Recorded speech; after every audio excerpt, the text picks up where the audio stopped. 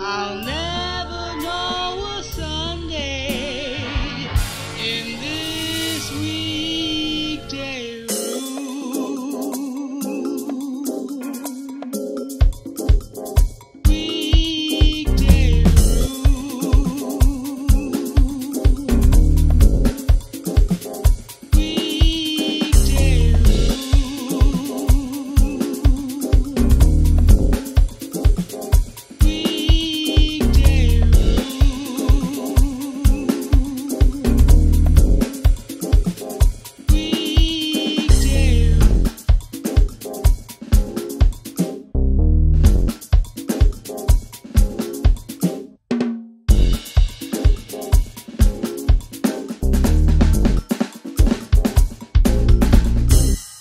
Coffee.